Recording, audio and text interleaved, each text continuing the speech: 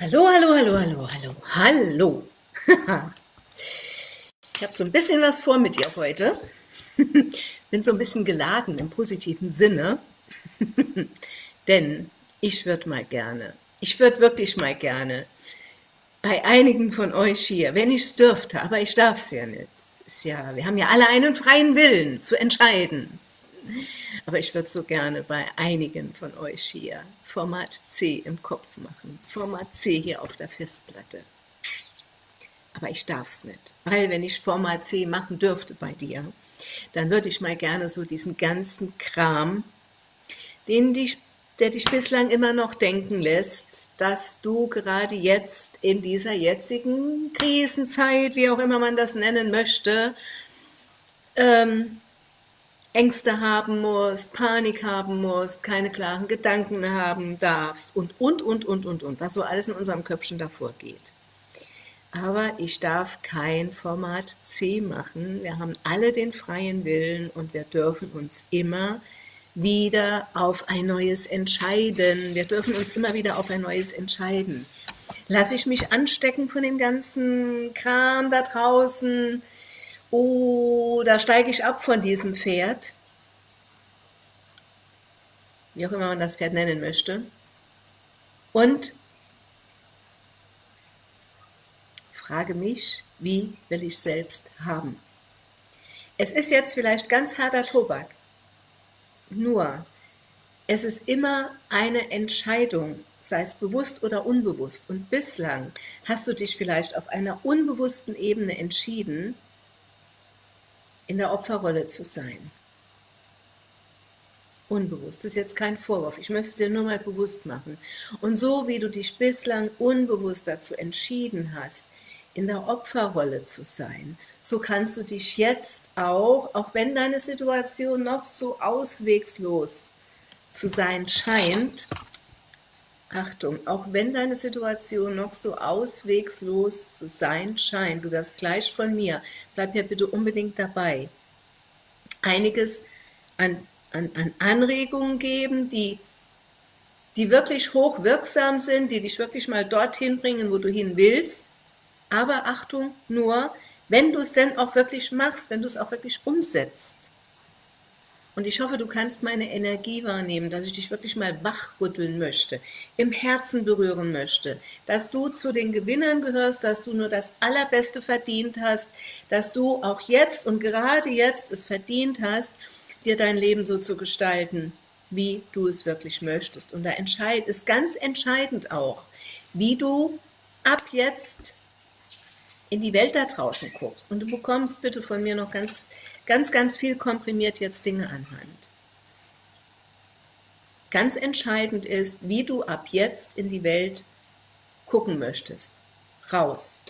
Und wenn du bislang noch diese Brille hier aufhast, wenn du bislang noch diese Brille aufhast, bitte, dann zieh mal diese Brille hier an. Und wenn dein Köpfchen dir jetzt sagt, ja, gut reden. Wie soll ich mir denn da draußen alles rosarot und schön reden? Vielleicht bist du wie ich katholisch erzogen worden oder evangelisch oder, oder wie auch immer. Religion spielt keine Rolle. Also ich gehöre keiner Religionsgemeinschaft mehr an, weder der katholischen noch der evangelischen noch sonst einer. Ich gehöre keiner Religionsgemeinschaft mehr an. Und dennoch gibt es in der Bibel einen wahren Satz. Nach deinem Glauben wird dir geschehen. Das heißt, und das, das sind Dinge, da kommt auch unser Denker, unser Verstand nicht mit. Und es geht bei dieser Challenge ja hier um, deshalb bin ich heute so, so energisch unterwegs. ähm, es geht bei dieser Challenge ja darum, dass du rauskommst aus Mangel und Orientierungslosigkeit. Und wenn du weiter mit der Brille hier in die Welt reinguckst, und nach dem Tenor, nach deinem Glauben wird dir geschehen. Von was wirst du denn mehr kreieren in der Zukunft? Von was wirst du mehr kreieren und wem hilft das wirklich? Weder dir, noch deiner Familie, noch deinem Umfeld. So. Und wenn du, wenn das bis eben noch der Fall war und du entscheidest dich jetzt, diese Brille aufzusetzen, was wirst du denn dann in der Zukunft kreieren? meine Liebe, mein Lieber, ich sehe hier keine namentlichen Zuschauer, sonst würde ich dich gerne auch vom Namen her hier begrüßen. Ich sehe nur, dass Zuschauer da sind. Okay, bitte nimm das mal auf. Du gehörst doch definitiv zu den Gewinnern. Du gehörst definitiv zu den Gewinnern, wenn du dich jetzt dafür entscheidest. Warum sage ich das so mit Vehemenz, dass du zu den Gewinnern gehörst? Als irgendwo mal ein Sperma unterwegs war, gab es hier irgendwo mal eine Eizelle und die haben sich getroffen. Und daraus bist du doch entstanden, daraus ist doch jeder von uns entstanden. Das zeigt doch schon mal, dass du zu den Gewinnern gehörst, sonst wärst du jetzt nicht hier. Und all diese Gedanken, die dich bislang noch denken lassen, ich kann das nicht und tralala und sowieso, noch ein Beispiel. So im Alter von zwölf Monaten hast du mal so eine Entscheidung getroffen. Du hast geguckt rundum, hm, die laufen irgendwie alle auf zwei Beinen. Will auch auf zwei Beinen laufen. Und das hast du gemacht. Du hast tausende Male versucht, dich aufzurichten und laufen zu lernen. Bist tausende Male hingefallen, hast bittere Krokodilstränen geweint, aber du hast nicht aufgegeben. Du hattest das Ziel, auf zwei Beinen aufrecht zu gehen. Ist dir gelungen, richtig? Ja, also mir ist noch niemand begegnet, der ab einem gewissen Alter nicht auch auf zwei Beinen läuft. Und das, bitte nimm doch das auch als Beispiel mal. Wenn du etwas wirklich willst, dann kannst du es auch erreichen. Das hast du auch schon mal bewiesen. So, und wenn du jetzt wirklich dich dafür entscheidest und es auch wirklich willst, mit allen Ebenen deines Seins, hier mit der Brille zu gucken und dir mal klar drüber zu werden. Und da wirst du jetzt ganz viele kompakt Dinge von mir mitbekommen heute, dass du auch mal dich auf diesen Weg begebst. Wo steht bitte geschrieben, dass du da nicht ankommst? Dass du nicht jetzt deine Lebensaufgabe entdeckst, deinen Seelenplan entdeckst, daraus deinen Seelenberuf kreierst, damit du dir nie wieder Sorgen um finanzielle Dinge oder sonst irgendetwas machen musst. Weil es geht doch letzten Endes, wenn du deinem Herzen folgst, authentisch du bist, authentisch du bist, was du eigentlich in deinem Kern bist, wo wir uns aber nicht mehr daran erinnern können, weil da so viele Schleier über uns gelegt wurden als wir das Licht der Welt erblickt hatten, mit der gut gemeinten Erziehung, einschließlich mir selbst. Das war, für mich war es ein, ein ganz, ganz langer Weg, dahin zu kommen, wo ich jetzt bin, aber das muss für dich nicht so sein. Du kannst es schneller haben. Du kannst es wirklich schneller haben. Und du willst ja eigentlich in deinem Kern auch ein anderes Leben dir gestalten. Sonst wärst du ja nicht hier in der Gruppe. Und Jetzt geht es einfach im ersten Schritt mal darum, dir bewusst zu machen, das, was ich eben gesagt habe, du gehörst definitiv zu den Gewinnern und du kannst dich jetzt dafür entscheiden, die Opferrolle zu verlassen und bewusst die Täterrolle zu übernehmen, im Sinne von tätig zu werden in deinem Leben, um in die Handlung zu kommen, um zu gehen. So, und jetzt fasse ich mal nochmal zusammen, was ich so gestern und vorgestern auch nochmal hier so als Tipp weitergegeben habe und wirklich, wirklich dazu einladen, das zu machen. Wie komme ich überhaupt dazu? Mir hat heute Morgen, also mich haben heute mehr, mehrere Mails erreicht, ähm, die im Postfach auch gelandet sind, auch hier über Facebook, über Messenger, ähm, wo ich nehme jetzt nur mal ein Beispiel raus, wo mir jemand geschrieben hat, die schon Anfang 60 ist, von der Mindestrente jetzt lebt, also total abhängig jetzt ist vom Sozialamt zum Beispiel. Und da kommen natürlich gerade in der jetzigen Situation noch mehr Existenzängste auf. Und dann geht so dieses ganze Kopfkino los, so sehr also ich würde total gerne meinem Herzen folgen und würde total gerne wissen, was meine Lebensaufgabe entspricht, meinem Seelenplan. Aber, aber, aber, aber, ich bin jetzt zu alt und das funktioniert ja nicht und ich habe kein Geld zum Investieren und tralala und keine Ahnung, was da alles so im Kopf. Ich will das gar nicht wiederholen, um diesen Dingen gar keine Energie zu geben. Schau mal, das sind alles Dinge, die du jahrelang in die Richtung gedacht hast. Jahrelang hat es dich in diese Richtung denken lassen. Und wie wäre es, wenn du dir das jetzt bewusst machst, dass du dir auf diese Art und Weise jetzt eine, diese Realität, die jetzt nun mal da ist, erschaffen hast? Und wie wäre es, wenn du jetzt ab sofort anfängst, dir bewusst zu werden, wo willst du denn jetzt weiterhin? Wo willst du jetzt weiterhin? Weiter in dieser Opferrolle sein oder willst du die Täterrolle im Hinblick von Taten folgen lassen, die dazu führen, dass du dorthin kommst, wo du eigentlich hin willst? So, und manchmal, da gehörte ich früher auch dazu, wenn ich so Revue passieren lasse, ist man da einfach so in, mit sich selbst gefangen und sieht, wie sagt man so schön, vor lauter äh, Wald, vor lauter Wald die Bäume nicht oder so irgendwie. So, Jetzt würde ich dich dazu einladen, mal dir anschließend jetzt hier ein Blatt Papier zu holen und dir im ersten Schritt mal aufzuschreiben, was in meinem Leben will ich denn nicht mehr. Also wenn du schon so in der Richtung geprägt bist und so viele Dinge schon über dir liegen, dass du schon gar nicht mal quasi, in, Anführungsstrichen, klar denken kannst, wo willst du denn überhaupt Ende des Jahres stehen, dann bitte geh mal ins Brainstorming mit dir und schreib dir mal all die Dinge auf, die du künftig in deinem Leben nicht mehr haben willst. Sei es Geldmangel, sei es gesundheitlicher Mangel, sei es eine unerfüllte Partnerschaft, sei es die jetzige Wohnsituation, in der du dich befindest, was auch immer. Bitte schreib einfach mal alles auf, was du nicht mehr haben willst. Dann hast du schon mal die Liste, die du nicht haben willst. Und dann wandelst du das einfach um. Kann auch sein Panikattacken, es können Existenzängste sein, egal was, schreib bitte einfach mal alles auf. Okay? So, und dann kehrst du das um, holst ein neues Blatt Papier, gehst Punkt für Punkt durch und kehrst das um. Dann weißt du, was du in deinem Leben haben willst. Okay? Also dann hast du schon mal die Liste, die du in deinem Leben wirklich haben willst. Der nächste Schritt ist dann, zu schauen, was sind die Dinge, die dir wirklich Freude bereiten. Die dir wirklich Freude bereiten. Und da geht es auch darum, sich zu lösen von den Gedanken, damit kann ich doch kein Geld verdienen. Doch kannst du. Du darfst nur wissen und darfst nur erfahren, wie. Kommen wir hier auch noch dazu aber nicht jetzt, heute, sondern im Laufe der nächsten Tage. Deshalb wäre es so wichtig, dass du hier regelmäßig auch wirklich mit dabei bist, um dir die Anleitung zu holen, die ich hier mit dir teile. Okay? Dann geht es jetzt, wie gesagt, im nächsten Schritt darum, dass du dir mein Blatt Papier holst und aufschreibst, was sind die Dinge, die mir wirklich Freude machen. Wenigstens 50. Bitte, wenigstens 50.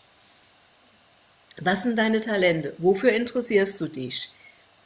Schau mal in dein Bücherregal. Welche Bücher hast du da in erster Linie? Welche Bücher liest du? Schau mal auf dem YouTube-Kanal, welche YouTube-Kanäle hast du abonniert, wo du dir ständig Input holst, was dich interessiert. Welche Zeitschriften liest du? Wo bist du auf Facebook? In welchen Gruppen bist du auf Facebook unterwegs? Wo du dir Inspirationen holst, aber, aber wo du vielleicht auch Content lieferst.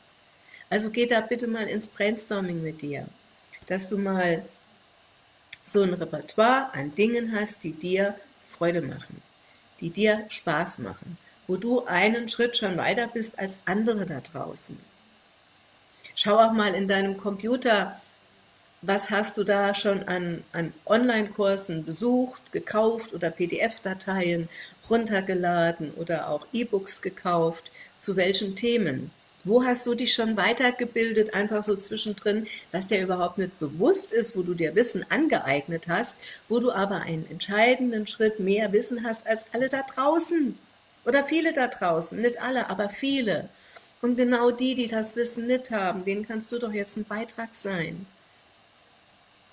Ja? Okay? So. Und dann gebe ich dir jetzt schon mal was mit an Hand, was eigentlich erst etwas ist für, für ein bisschen weiter Fortgeschrittene. Aber du kannst es jetzt schon machen und es ist wirklich immens wichtig, dass du es auch machst. Und zwar unser Gehirn denkt ja in Bildern.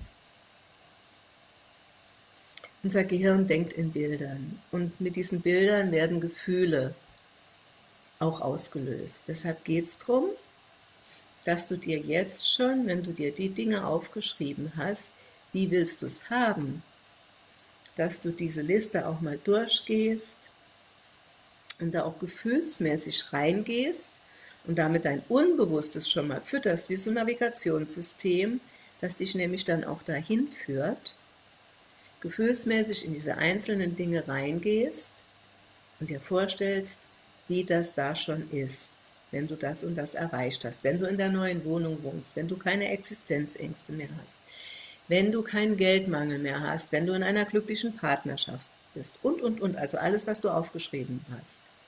Wichtig, Punkt für Punkt durchgehen und dann dir gerne auch den Satz formulieren, auch das machst du am besten schriftlich. Ich bin so froh und dankbar, dass ich, und dann formulierst du weiter diesen Satz aus zu deiner idealen, ja, zu deinem idealen Leben. Ich bin so froh, dankbar und glücklich, dass ich jetzt eine neue Wohnungseinrichtung habe. Ich bin so froh, dankbar und glücklich, dass ich jetzt 50.000 Euro auf meinem Konto habe. Ich bin so froh, dankbar und glücklich, dass ich 50.000 Euro bar zur Verfügung habe. Oder 10.000 Euro oder was auch immer. Nehmen den Betrag, den der jetzt in deinem Bewusstsein da vorstellbar, nicht unbedingt vorstellbar ist. Nimm einen Betrag, der vorstellbar ist und den multiplizierst du am besten mal drei.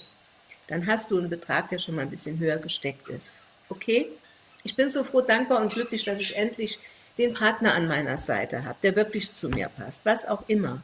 Also, zu jeder Formulierung, wie du es haben willst, ich bin so froh, dankbar und glücklich, und dann gehst du vom Herzen mit dem Gefühl da rein. Damit du dein Unbewusstes mal in eine andere Richtung auch fütterst und lenkst, wie ein Navigationssystem. Okay? Und dann gebe ich dir jetzt noch was mit auf den Weg. Wenn du so vom, vom Kopf, vom Verstand, vom Denker her geprägt bist, der selbst verhindert, dass du auch hier jetzt ins Handeln kommst und das wirklich schriftlich machst. Es geht nicht darum, einfach nur das zu denken. Bitte, bitte, bitte, mach's schriftlich. Ich möchte, dass du wirklich raus aus diesem Mangel und dieser Orientierungslosigkeit kommst. Ich würde dich gerne wachrütteln. So, dann nimmst du mal noch ein Blatt Papier. Ich habe hier einen Block. Ups, so.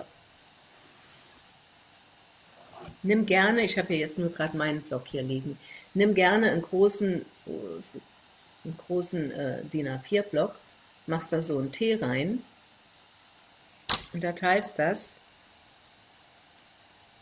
Und dann schreibst du auf die andere Seite, auf die eine Seite, ich zeige es dir gleich,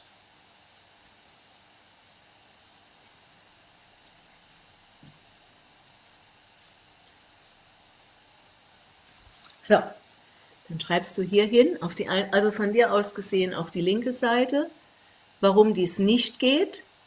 Und auf die andere Seite schreibst du Gründe, warum es geht. Das ist so spiegelverkehrt hier zu zeigen. Okay, also von dir aus gesehen auf die linke Seite schreibst du, warum dies nicht geht und auf die andere Seite Gründe, warum dies geht. Also dein ideales Leben, rauszukommen aus Mangel, rauszukommen aus ähm, wie heißt das im Fachjargon, rauszukommen aus Grundsicherung, Altersgrundsicherung. Ich weiß, ich weiß genau, wie es dir da gerade geht. Meine Mutter war auch abhängig von Altersgrundsicherung äh, oder wie man das da nennt. Ja? Okay, ich weiß, wie es geht, wie es ist. So, und dann machst du hier so einen Zettel, warum es nicht geht, Gründe, warum es geht. Und in diese Spalte, wo du hingeschrieben hast, worum, warum dir es nicht geht, da machst du bitte ein großes X, damit du nicht in die Versuchung kommst, da Dinge hinzuschreiben und in diese Energie hineinzutauchen, sondern du füllst bitte nur auf der Seite hier aus Gründe, warum es geht. Finde Gründe, warum es gerade jetzt für dich möglich ist. Und dann gehst du da einfach auch mal ins Brainstorming. Und so sehr dein Kopf, dein Denker da auch rebelliert und wenn du mal da hockst und du findest überhaupt keinen Grund, dann nimm das einfach auch mal wahr. Nimm es einfach mal wahr und denke, ah, ist interessant, dass jetzt nichts kommt. Lass dir Zeit und bleib vor dem Blatt Papier hocken und schreib einfach mal. Du wirst Gründe finden, die sicherlich zunächst mal utopisch sind. Aber schreib es einfach mal auf und dann knüpfen wir die nächsten Tage hier drin an. Okay? Wenn du noch Fragen hast, ins Kommentarfeld gerne reinschreiben. Ich gehe gern drauf ein. Hab Freude und Leichtigkeit und Spaß daran. Bitte hab Freude, Leichtigkeit und Spaß daran. Du kannst das, du bist ein Geschenk für die Welt, du hast es verdient. Und gerade auch jetzt darfst du dir erlauben, zu den Gewinnern zu gehören. Okay? Meine Liebe, ganz liebe Umarmung. Bis dahin, wir sehen uns. Ciao, ciao.